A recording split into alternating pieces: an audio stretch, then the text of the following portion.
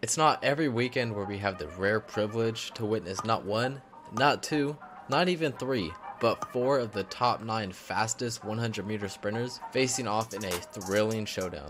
All eyes were on one sprinter who was entering the race with an untamed six race long winning streak. This was his moment to shine, to extend his flawless record by one more race.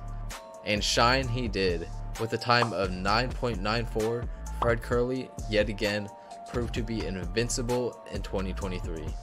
As we expected, hot on his heels were world-class sprinters. Ferdinand Omanyala of Kenya secured second, while Trayvon Bromell of America secured third. Fred Kerley, the second fastest man in the world from the 2020 Olympics, is running a story that's far from over.